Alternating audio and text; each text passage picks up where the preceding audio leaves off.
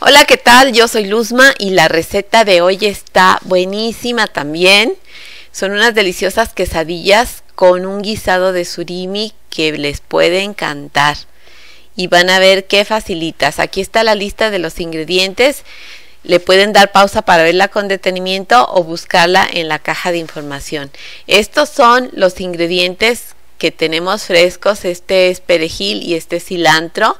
Pueden poner las cantidades que ustedes quieran, yo solo voy a poner estas y chile jalapeño fresco por si les gusta picosito. El jitomate lo vamos a picar, le vamos a poner sal de mar, una pizquita de sal de mar y lo mezclamos.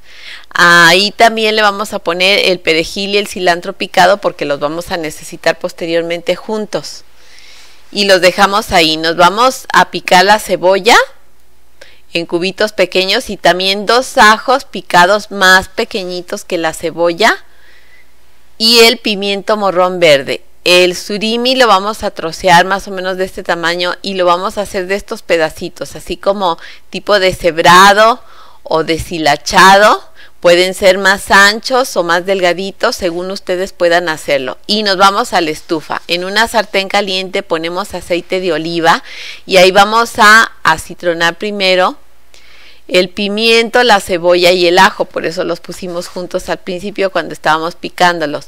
Los vamos a dejar que se acitronen y ahí les vamos a agregar el jitomate y las hierbas picaditas. El jitomate se le llama también tomate. Una vez que está todo bien hecho, agregamos el surimi poco a poco lo vamos mezclando y agregando.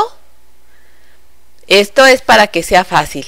La estrategia de irlo poniendo y agregando es para que sea más sencillo mezclarlo. Lo vamos a dejar que se mezcle bien y agregamos pimienta negra molida al gusto para sazonarlo. Y ya estuvo listo el guisado. Lo reservamos. Ya tenemos rebanado delgadito el queso del que vayamos a usar, este es queso mozzarella y las tortillas son del día anterior, están frías, pero no están duras. Y nos vamos a la estufa. En una sartén bien caliente ponemos un poquito de aceite que se cubra todo el fondo y ahí vamos a aceitar nuestras tortillas solo por el lado grueso. Yo voy aceitando de a dos y cuando tengo dos, ya con aceite, le voy poniendo guisado la cantidad es al gusto, a mí me gustan bien rellenitas y sobre el guisado el queso. Puede ser también queso manchego o cualquier queso que funda como el asadero, el Oaxaca, Chihuahua.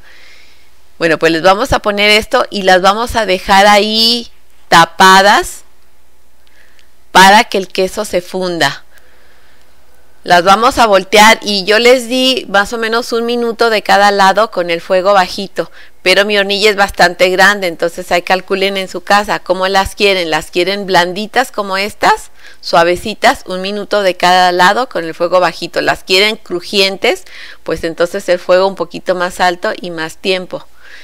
Y la guarnición es col o repollo picado, rabanitos rebanados y cebollitas en vinagre también en rebanaditas. Les voy a dejar el enlace para que vean la receta. Y salsa, puede ser mil islas o puede ser ranch o la que ustedes quieran que sea cremosita. Y su salsa picante de la de botellita, la marca que les guste. Y van a ver qué rico comen, almuerzan o cenan. A cualquier hora esto les va a encantar. ¿Gustan?